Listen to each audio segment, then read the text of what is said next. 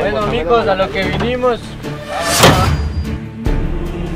¿A dónde tan peinado?